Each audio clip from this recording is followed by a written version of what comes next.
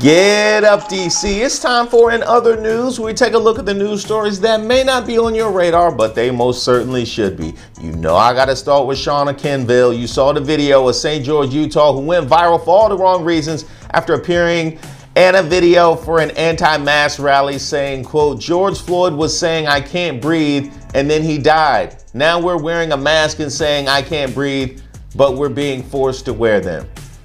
For real?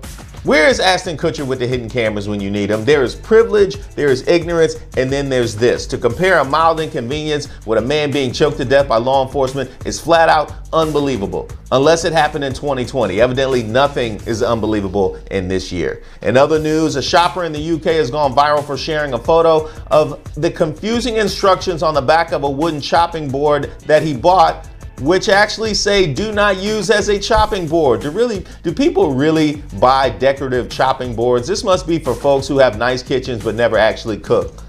Maybe it's a board for a martial artist to chop through and they put it in the wrong section. The store claims it's an error on the sticker, which is actually way more logical than any scenarios I presented. Still, I would have loved to see people breaking these in the next karate gi, next, uh, next to the cheese graters and the dish towels.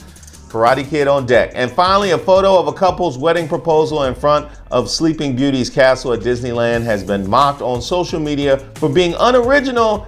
As you can see, another man proposing in the background of the photo at the exact same time. Awkward. Main man in the back couldn't wait a couple of minutes before making his move. He probably saw that somebody else was about to beat him to it and decided to just go for broke before his girl noticed the other couple. Disney is selling happily ever after dreams in these theme park streets. And shout out to all the men who would have been pressured into this proposal, but the park was closed. Hot Boy Summer is officially over. Let me know what you think of these stories using the hashtag GetUpDC.